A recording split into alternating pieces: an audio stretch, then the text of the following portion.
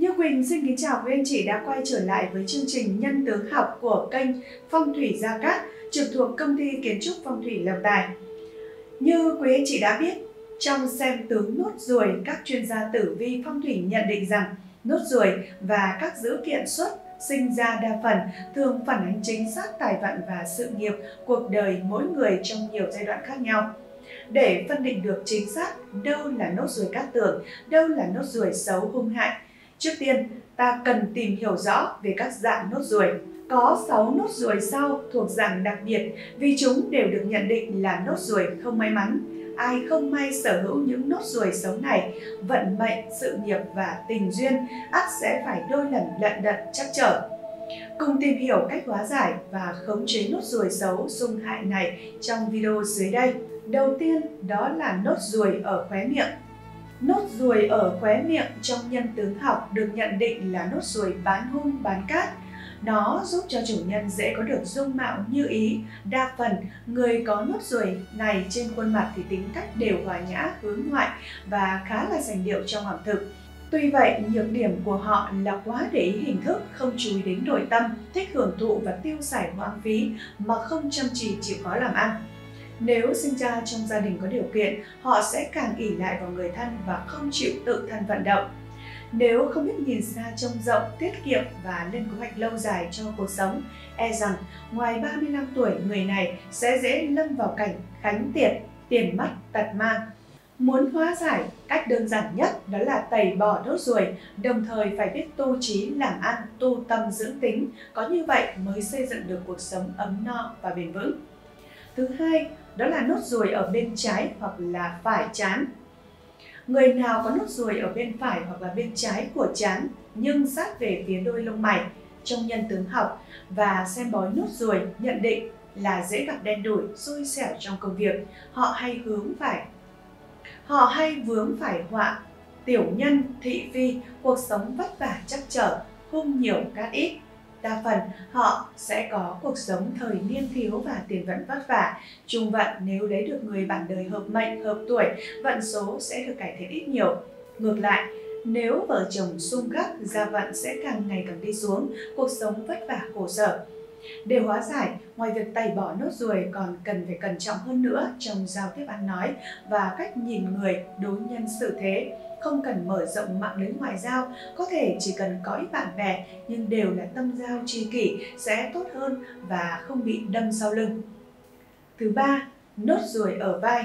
Người nào có nốt ruồi ở vai, đầu mỏm vai nhưng mà hơi lệch về phía sau lưng hoặc là nốt ruồi sát ở với cổ bao gồm màu sắc không đẹp, thiếu rõ ràng, trên nốt ruồi có lông hoặc là vết sẹo. Trong xem bò nốt ruồi gọi đó là nốt ruồi đen đủi, hao tài, tán lộc. Chủ nhân của nó sẽ vất vả lao lực vì tiền, vừa phải gánh vác trọng trách gia đình, làm việc vất vả mà ít được đền ơn báo đáp. Cách hóa giải phù hợp nhất là họ nên tẩy bỏ ngay khi mà có thể, đồng thời khéo léo lựa chọn người phối ngẫu hợp mệnh có như vậy, họ mới được cộng hưởng may mắn và dễ gặt hái được thành công khi mà ngoại tứ tuần. Nốt ruồi xấu ở xương quai xanh hoặc là bả vai. Nốt ruồi mọc ở lõm giữa xương quai xanh hoặc bả vai được coi là một trong những vị trí nốt ruồi xấu trên cơ thể thể hiện khả năng quản lý tài sản của chủ nhân không tốt, tài sản dễ thất thoát, lại không có khả năng xây dựng tài chính nên hậu vận thường gặp khó khăn vì không có tích lũy. Đàn ông hay là phụ nữ sở hữu vị trí nốt ruồi xấu trên cơ thể này thì nên thận trọng trong mọi quyết định liên quan tới tiền bạc, nhất là việc đầu tư tài chính. Nốt ruồi xấu dưới mắt cá chân, gót chân Nốt ruồi dưới gót chân Mắt cá chân là các vị trí nốt ruồi xấu, đặc biệt là nốt ruồi đen thì càng không tốt. Nó thể hiện cuộc sống của người này gặp nhiều rắc rối, phiền toái, dù cố gắng làm việc nhưng thành quả không thu được nhiều hoặc là không được công nhận. Chuyện tình cảm hôn nhân của họ cũng không khá hơn là mấy, dù cố gắng nhiều nhưng chẳng được nếm trái ngọt. Cách hóa giải nốt ruồi xấu này có thể xóa nốt ruồi bằng ít nhiều có thể xóa nốt ruồi xấu này thì ít nhiều vận trình cuộc sống cũng được cải thiện. Bên cạnh đó, nếu bạn thường xuyên mang theo mình một trang sức trợ mệnh phong thủy thì sức ảnh hưởng của nốt ruồi xấu này cũng giảm đi đáng kể. Xem bói nốt ruồi xấu sau gáy mọc lệch về hai bên. Nốt ruồi xấu trên cơ thể đàn ông, nốt ruồi xấu trên cơ thể phụ nữ cho biết, nốt ruồi mọc sau gáy lệch về hai bên cũng được coi là nốt ruồi xấu. Người sở hữu nốt ruồi này thường gặp vấn đề trong chuyện tình cảm, có thể là bị người khác lừa gạt hoặc bị dối tình. Tuy nhiên thì nốt ruồi này lại rất khó tẩy xóa dù có nhiều tiền tới đâu và chuyện hôn nhân cả đời cũng sẽ không thuận. Trên đây là những thông tin về 6 vị trí nốt ruồi đại kỵ xui rủi triền miên. Phần tiếp theo của chương trình lần này Phong thủy Gia Cát sẽ giúp anh chị tổng hợp ra những con giáp khi mà có những đặc điểm trên thì vận trình trong năm 2020 canh tí sẽ khó khăn, gặp phải nhiều trắc trở cần cẩn trọng chú ý. Mệnh chủ tuổi Tý trong năm 2020, người tuổi Tý phạm phải tái tuế nên có những nốt ruồi xấu đại kỵ ở những vị trí trên sẽ khó khăn càng nhiều. Thái tuế đương đầu, không họa này ắt có họa khác.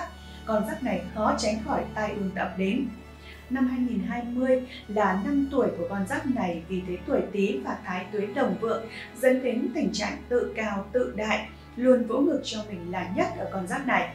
Bản mệnh có thêm nhiều tham vọng, mong muốn hoặc là sống quá là thực tế hoặc tỏ ra quá đỗi lạnh lùng chỉ biết đến lợi ích của bản thân mình.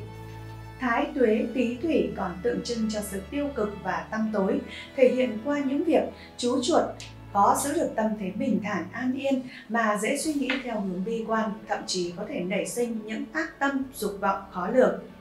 Khi bóng đêm ập xuống thì ánh mặt trời bị che khuất, con giáp này không kiểm soát được bản thân mình thì có thể trở thành một người hoàn toàn khác, bộc lộ hết những mặt xấu xí trong con người mình.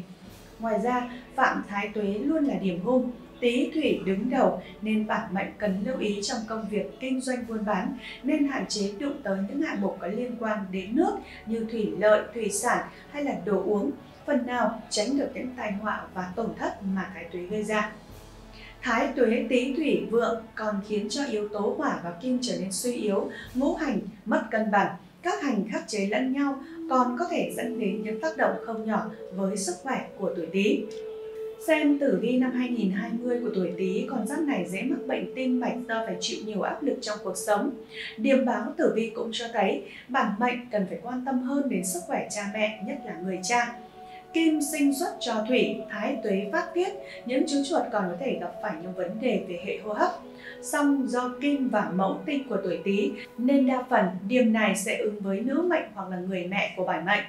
Âm thủy quá vượng nên Phong thủy Gia Cát xin được nhắc nhở tuổi Tý trong năm canh Tý chớ nên ham vui mà tới những nơi sông sâu sóng cả, cần phải lưu tâm cả những nơi hầm ngầm hay là hang động dưới lòng đất, những nơi tà khí vượng, nếu không dễ mắc phải tai họa khôn lường.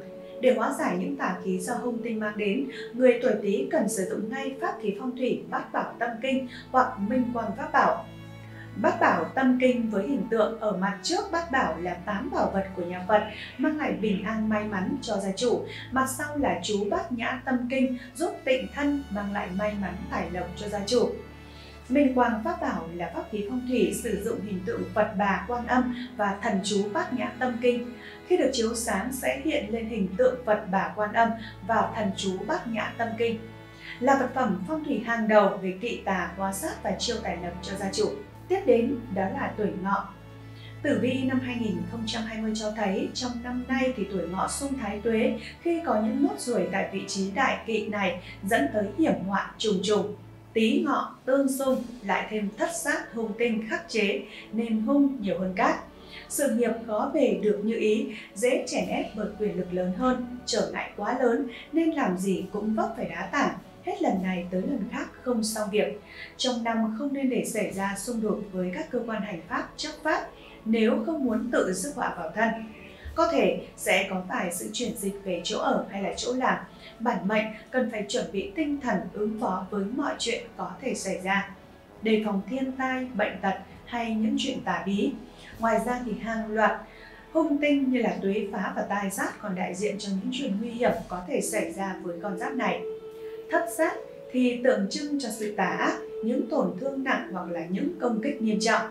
Để mọi việc viên mãn, hóa giải các xung sát do thái tuế ảnh hưởng tới mình, mệnh chủ cần luôn mang theo bên người một kim bài thái tuế. Tuy tuế can canh kim lộ xuất chính tài, nhưng chính tài lại bị thái tuế thất sát kìm kẹp. Vì thế trong năm nay, bản mệnh không nên tham gia đầu tư mạo hiểm. Đừng để lòng tham của mình đẩy chính bản thân vào hố sâu, dễ bị kẻ gan lừa gạt, mất tiền hao của. Tài vận của tuổi ngọ vào năm 2020 không được vượng cho lắm, tiền bạc kiếm được đều phải làm lụng cực khổ, không có chuyện tài lộc từ trên trời rơi xuống nên tập trung vào công việc chính, không nên tìm cách kiếm tiền bằng nghề tay trái hay là chơi cờ bạc đỏ đen. Năm nay bản mệnh dễ vướng vào vòng lao lý, càng tránh xa những việc bất hợp pháp bao nhiêu thì càng tốt bấy nhiêu. Đừng tùy tiện làm những việc trái với quy định, trái với pháp luật vì hám lợi nhất thời. Chẳng những hao tốn tiền của mà còn có thể bị vướng vào vòng lao lý nữa. Về sức khỏe, con giáp này cần phải đề phòng bệnh tình biến chứng theo chiều hướng xấu hơn, có thể sẽ xuất hiện u nhọt, không nên uống nhiều rượu bia, dùng các chất kích thích nên kiểm soát tốt cảm xúc của mình, nếu không sẽ tự khiến cho bản thân buồn bực khó chịu, dần dà để lại bệnh tật trong người. Ngoài ra, thái tuế tý thủy là âm thủy, vì thế trong năm thủy hỏa xung khắc này, mệnh chủ nên lưu ý không nên đến những nơi có nhiều nước như ao hồ, sông suối, biển cả, cẩn thận, kẻo gặp hạ nước. Nếu có thể thì đừng tới những nơi âm u ẩm ướt, nơi có nhiều tà khí, nếu không sẽ khiến cho bệnh tật quấn thân hay là bệnh tình trở nặng. Hàng ngày nên đề phòng trộm cắp, Trước khi ra khỏi nhà phải đóng cửa, khóa cửa cẩn thận, hạn chế nhiều đồ có giá trị trong nhà cũng như là mang theo bên người. Để bổ trợ thân mệnh cho gia chủ, kích tài nạp phúc, nạp tài, tịnh hóa nghiệp lực, gia trì công đức cho mệnh chủ, giúp cho công việc làm ăn của gia chủ được hanh thông thuận lợi, thành công trong sự nghiệp. Mệnh chủ cần mang theo bên người một trang sức trợ mệnh, đó là bát bảo tâm kinh hoặc minh quan pháp bảo. Tiếp theo đó là tuổi mão. Năm 2020, tuổi Mão gặp cục diện hình thái tuế, tài lộc sự nghiệp có bước tăng tiến nhưng dễ gặp phải trục trặc về sau, có được có mất. Sức khỏe của con giáp này trong năm canh tí cũng không được tốt, dễ mắc các bệnh liên quan đến gan thận. Bước vào năm canh tí, tuế can canh kim lộ xuất chính quan, tí thủy tọa tại chính ấn, ấn quan tương hợp tạo điều kiện cho con giáp này phát triển trên con đường công danh sự nghiệp. Vậy nên, người tuổi mão hãy luôn mang theo bên mình vật phẩm phong thủy, kim bài thái tuế để nghênh đón các thần hóa giải hung tinh, giúp tuổi mão luôn gặp được may mắn, bình an trong cuộc sống. Bản mệnh dễ đạt được mục tiêu của mình thuận lợi trên con đường học hành thi cử ứng tuyển xin việc lấy bằng cấp chứng chỉ thì cũng dễ dàng hơn. Ngoài ra còn có thể sẽ nhanh chóng thăng tiến lên vị trí cao hơn phù hợp với năng lực bản thân. Theo đó mà mức đãi ngộ cũng được cải thiện nhiều. Tuy nhiên thì do thái tuế tý thủy và tuổi mão phạm phải cục diện tương hình nên trong năm cần chú ý trong họa có phúc, trong phúc có tiềm họa. Đừng thấy rằng mình thành công mà lơ là cảnh giác. Lợi ích có được chẳng dễ dàng nhưng vẫn phải có sự thỏa thuận rõ ràng. Nếu không được thỏa hiệp từ trước đó thì hậu quả thực sự khôn lường có thể ganh tị, đố kỵ mà tiểu nhân sẽ tìm cách phá hoại, không ăn được thì đạp đổ. Thái tuế trợ đào hoa nên tử vi năm 2020 của tuổi mão cho thấy bản mệnh dễ tìm thấy được cơ hội để gặp gỡ, làm quen với người khác phái. Khả năng tìm thấy tình yêu của đời mình cũng cao hơn. Song nếu con giáp này đã kết hôn thì đào hoa vượng có thể sẽ biến thành đào hoa dữ và phá hoại hạnh phúc mà bạn đang có. Cần phải giữ lập trường vững vàng nếu không sẽ rơi vào những mối quan hệ ngoài luồng. Thái tuế còn mang theo những hung tinh gây ra đủ chuyện rắc rối phiền phức, làm hỏng chuyện mà tuổi mão đang cố gắng đạt được, thậm chí còn gây tổn hại đến con giáp này nữa.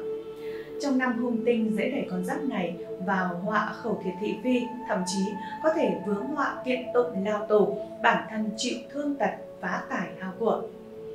Theo phong thủy Gia Cát năm 2020, tuổi Mão cần phải lưu ý làm gì thì tốt nhất phải tuân theo quy định pháp luật, dù đó là chuyện nhỏ thì cũng đừng vì tình cảm cá nhân hay là do chủ quan mà tặc lưỡi bỏ qua. Cần kiểm soát bản thân tốt để cho dục vọng và sự tham lam lấn át hết lý trí, mắc sai lầm thì chỉ có mất nhiều hơn là được.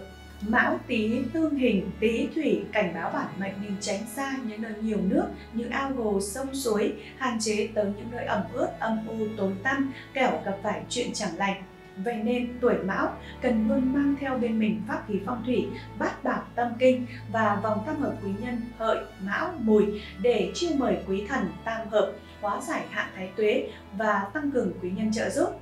Khi được quý thần tương trợ, thị phi sẽ không còn, từ đó công việc hanh thông thuận lợi, giúp cho tuổi mão, tài lộc, vượng tiến trọn đời.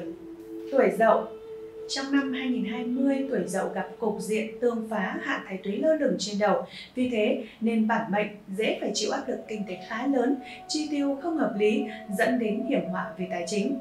Tình hình sức khỏe của con giáp này vào năm canh tí cũng không mấy khả quan, đặc biệt là những vấn đề liên quan đến hệ thống hô hấp cần lưu ý đề phòng.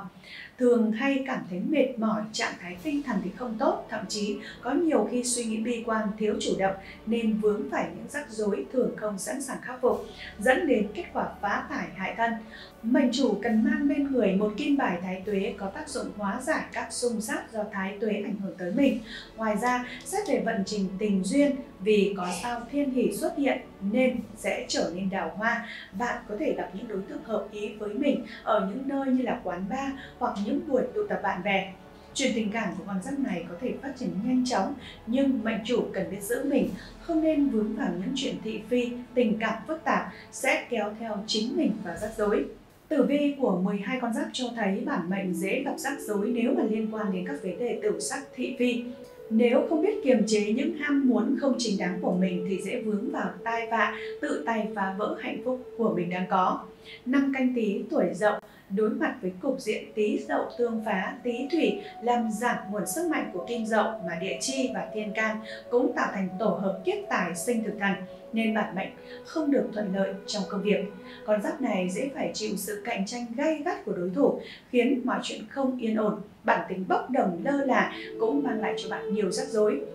Bản mệnh cần phải tốn rất nhiều công sức mới có thể khắc phục được những vấn đề xảy ra xung quanh mình. Ngoài ra thì cục diện tương phá còn cảnh báo những chú gà có thể làm hỏng chuyện nếu dành quá nhiều thời gian cho những điều thú vui bên ngoài. Vì thế, cần phải tránh hết sức việc tham gia vào các hoạt động tụ họp không cần thiết, tránh giao lưu với những người có ý đồ không lành mạnh. Trong năm 2020, tuổi dậu cần tránh đi những nơi khu vực âm u ẩm ướt, không nên đến những khu vực ven sông hoặc những nơi nhiều nước hỗn tạp như là quán bar, quán rượu để tránh những chuyện rắc rối không cần thiết.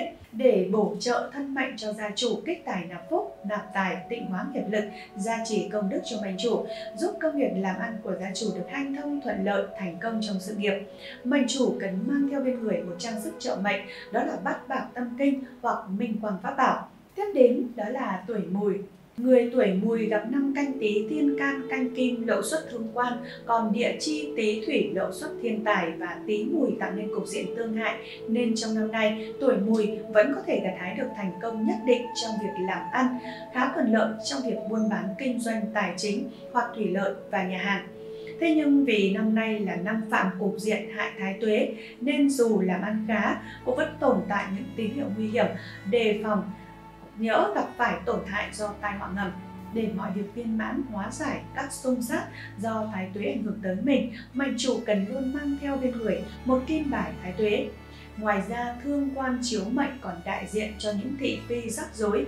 Vì thế, trong năm 2020, dù làm ăn lợi lộc có phát triển nhất định, nhưng tuổi mùi dễ gặp phải tai họa khôn lường bản mệnh có thể sẽ gặp phải nhiều chuyện rắc rối nếu quá chú tâm vào tình cảm. Vì thế, trước khi đi đến quyết định giữ mối quan hệ với ai, con giáp này cần phải cẩn trọng hơn, có con mắt tinh đời để phát hiện ra ai là người tốt kẻ xấu. Tốt nhất, nếu thấy mối quan hệ nào tốt với mình thì nên phát triển, mối quan hệ nào mang lại nhiều điều tiêu cực thì nên giảm thiểu, thậm chí là chấm dứt. Bản mệnh cần phải chú ý đến chuyện kiện tụng thị phi trong năm 2020 này do ảnh hưởng của thái tuế mà tuổi mùi sẽ thường cảm thấy mệt mỏi, uể oải, không có ý chí chiến đấu. Trong quá trình làm ăn thì tốt nhất không nên quá tham lam, muốn chiếm lấy những thứ không thuộc về mình, nếu không sẽ vướng vào chuyện kiện tụng. Làm ăn thì cần chân chính dựa vào chính sức của mình mới mang lại nhiều niềm vui, còn tham lam muốn chiếm đoạt của người khác thì ắt phải gặp nhiều chuyện mối ưu phiền. Năm canh tí, người tuổi mùi tránh đến những nơi ẩm thấp hoặc có nhiều nước khiến cơ thể khó thích nghi hoặc mang đến những tai họa ngầm. Tốt nhất nên tham gia những hoạt động ngoài trời, chú ý rèn luyện thể dục thể thao, giúp tăng cường thể chất để bổ trợ thân mệnh cho gia chủ, kích tài nạp phúc, tình hóa nghiệp lực, gia trì công đức cho mệnh chủ, giúp công việc làm ăn của gia chủ được hanh thông thuận lợi, thành công trong sự nghiệp. Mệnh chủ cần mang theo bên người một trang sức trợ mệnh, đó là bát bảo tâm kinh hoặc minh quang pháp bảo. Cảm ơn quý anh chị đã theo dõi video của chúng tôi để được hỗ trợ chi tiết hơn về vấn đề tránh cát sử dụng phù hợp cho từng tuổi và những dự định công việc của quý anh chị thực hiện trong tháng hoặc tử vi chi tiết của tuổi quý anh chị. Hãy liên hệ ngay đến số hotline của chúng tôi hoặc để lại thông tin mong muốn của mình phía dưới ô bình luận. Thầy Gia Cát cùng đội ngũ trợ lý của thầy sẽ hỗ trợ tư vấn cho quý anh chị nhanh nhất. Hẹn gặp lại trong những video tiếp theo